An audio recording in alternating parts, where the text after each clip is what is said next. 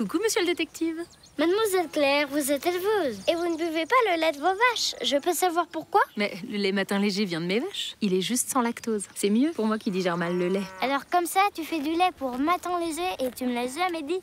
Matin léger de Lactel, c'est du bon lait facile à digérer.